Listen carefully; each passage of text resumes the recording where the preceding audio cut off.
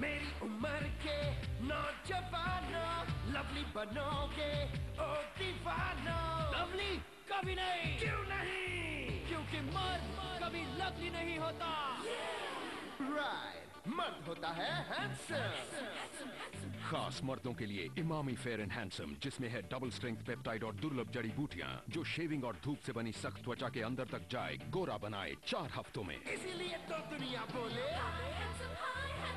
world's number one Emami fair and handsome मर्दों की असली फेयरनेस क्रीम